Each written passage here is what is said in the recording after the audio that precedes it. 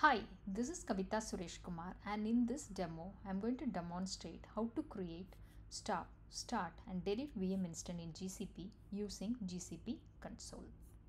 I have logged into my GCP account. So I am with the project demo. So now we are going to create a compute engine. So click compute engine. Since this is a new project, first we need to enable the compute engine API. Click enable click create instance. The first we need to provide a instance name. So i am going to create a linux vm. So i'm going to give the name as linux vm. And then we need to select the region where we want this instance to be hosted. So i'm going to give us east 1 and you can select the desired zone as well right? And then we need to select the machine configuration. So we have four options. One is general purpose. This is primarily used for the common workloads primarily it is optimized for the cost and flexibility. And then next we have the compute optimized. This is for the performance intensive workloads right?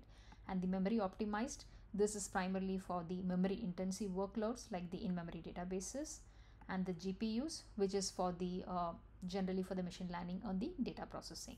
For the demo purpose we will select the general purpose and we will leave it with the E2 series. Again here you have many series even under the each category. So we'll leave the E2 and then we'll the select the machine type.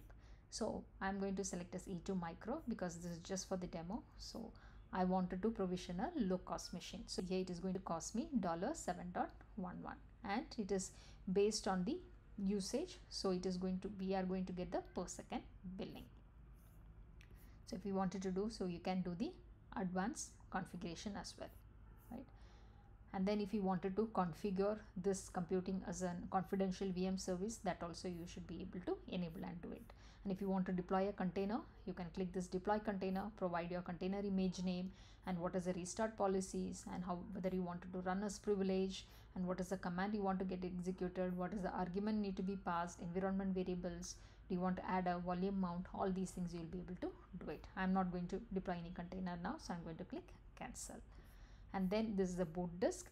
So you can uh, this is by default this is the configuration. We'll go with the default but if you wanted to change you can click change and you can change the operating system version boot disk type. So everything you'll be able to change it.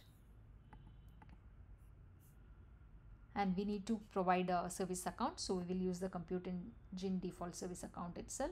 Otherwise you can create a service account and you can assign the service account here. So this service account will be used to um, invoke those apis right? And the access scopes. So we are going to leave it as the default access. So default access it is going to give read access to the storage and the service management and it will be giving write access to the logging and monitoring another in case if you wanted to give full access you can select this. Or if you wanted to give only specific api access you can select this and specify the and select the different apis and give access. By for this demo purpose we'll go with the allow default access.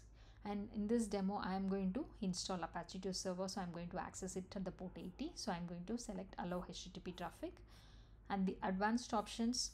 So networking so you'll be able to select the network interface but i'm going to use the default for now. So disk if you wanted to add any new disk attach existing disk you should be able to do it.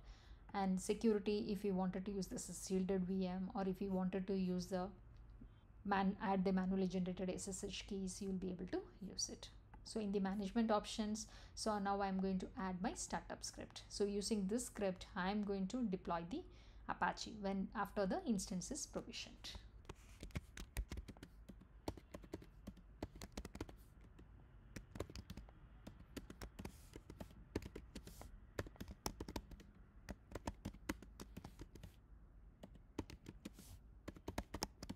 Install Apache 2.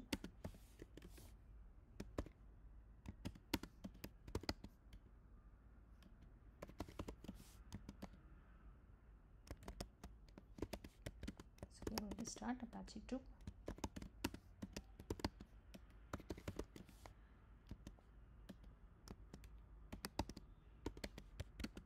This for checking the status.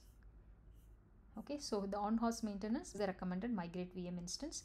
For the instance what I've selected, the other option was not, it's not going to work. So we change it to migrate VM instance. Now click create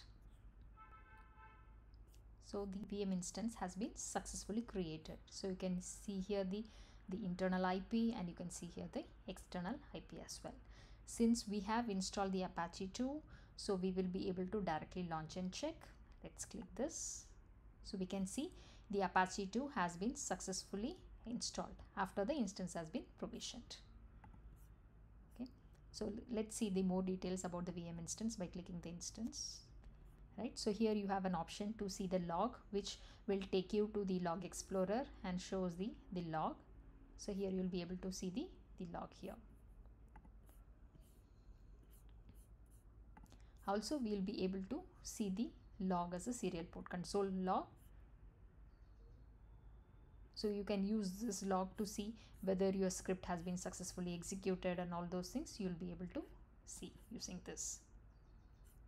You can see here right? The startup script has been executed and the apache 2 has been started.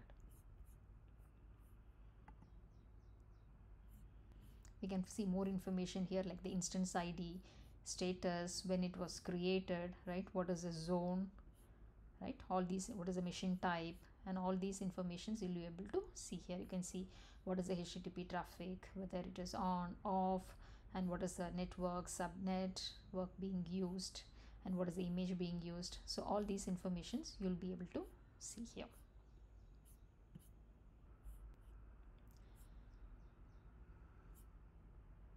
so now we have successfully created a machine and here we can we have an option.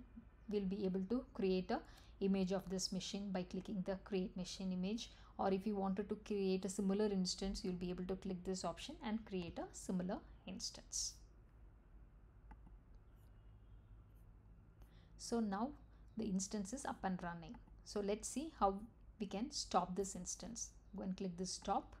So this is going to stop the VM instance so the instance has been successfully stopped so now let us start the instance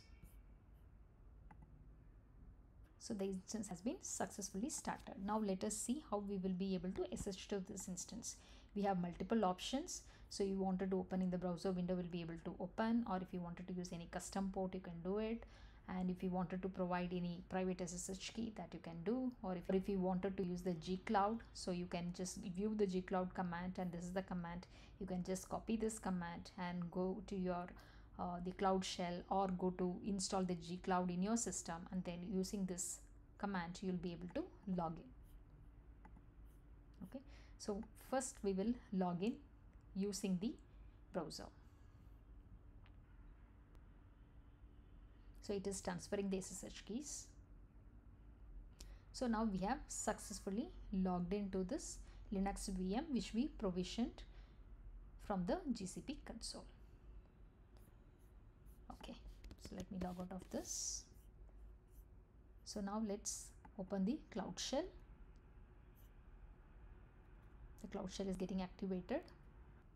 Okay so now the cloud shell has been activated the command what we copy pasted let's use it click authorize